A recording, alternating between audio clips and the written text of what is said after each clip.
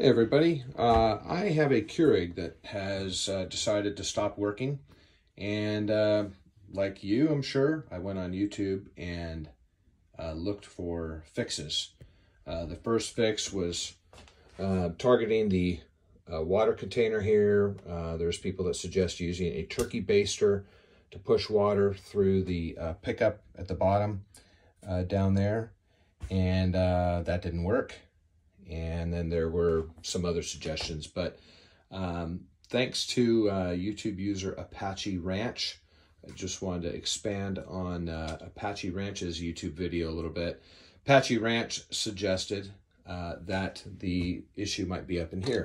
Now, one other YouTube uh, user um, suggested that you take a paper clip and go up through the nozzles um, underneath here and, and basically unplug the holes. And you can see the holes there. I tried that with a paper clip. That didn't work.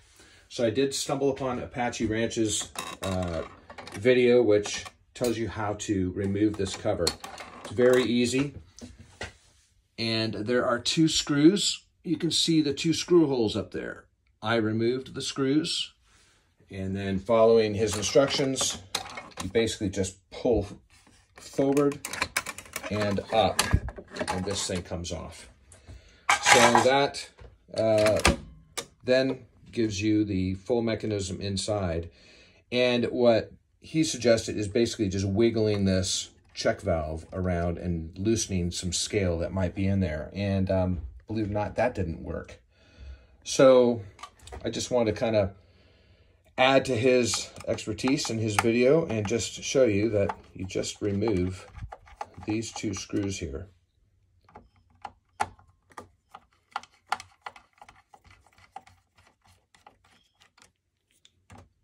Very carefully, do not lose these. Of course, now I'm filming and using a screwdriver and I'm probably going to lose a screw, but put it somewhere where you won't lose it. Think this one's already loose. Yeah.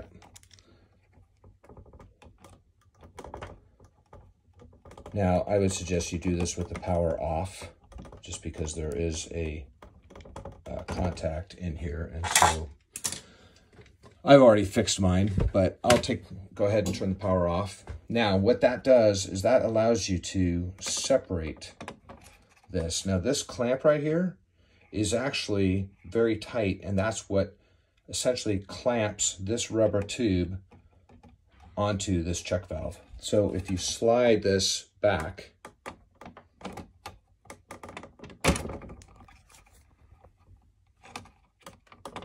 which I'm not sure I can do with one hand, but here we go. We're going to give it a try. There we go.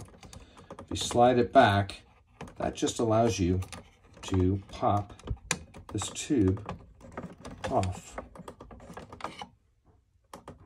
See that? There you go. And in so doing, you can lift this up and this comes, will come completely out. All you do is you just then remove these two screws. The whole nozzle comes out of the assembly and all I did is I rinsed it really well in water and I blew through here and just all I did was I clean up the nozzle. So for me, the problem was a plug nozzle and it was just too much for the paperclip trip trick to really work. So remove these two screws. The nozzle, this whole piece comes out from the bottom. The tube, you just kind of fish through that hole right there and you can just take it to a sink. Rinse it really thoroughly. Rinse the uh, nozzles out real thoroughly. Kind of gross, but don't tell anybody. Blow through this nozzle and you'll be able to get when you can get uh, no resistance to the air, you know you've cleared the nozzle. And then just reinstall. Uh, when and when you reinstall it, obviously you want to connect those two together, then slide this clamp up, which essentially clamps that connection. Resecure your screws, and then um, you know plug it in. Be super careful. Uh, do this at your own risk because there is an electrical connection here, and what that is is that's just a micro switch that tells the machine that the lid is closed. But there's power through there, so If you're not sure, put the cover on first, but I'm not telling you to do something stupid. You know your own uh, abilities, but just be super careful. But uh, anyway, what I did is I was just careful and I uh, filled up the water container and sure enough, water started running through it. I went ahead and descaled with some vinegar. I ran uh, quite a bit of vinegar through it, and then I ran a couple uh, containers full of water through it, and uh, it works like a champ. In fact, the flow, uh, I hadn't really noticed, but the flow was very restricted, and it was obviously just due to scale and, and crud in the lines. So doing this allows you to flush it all out.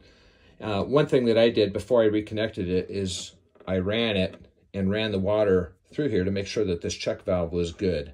And sure enough, water was running through it and right into this container. Keeping in mind, of course, that water is very hot, so do that at your own risk. Uh, but I made sure that before I reconnected everything, that the water was in fact making its way through the check valve, which it was. So that's what told me that uh, water was running through here, so obviously the problem is in here. I removed two screws. I pulled it out, blew through it, rinsed it really carefully, and then reconnected it, and the uh, Keurig was fixed. So I hope that helps you. Again, uh, don't do anything that you're not fully capable of doing, but be very careful. And um, make sure and give this video a like. And again, thanks to Apache Ranch for uh, sending me right down the, the right path there. Thanks for watching.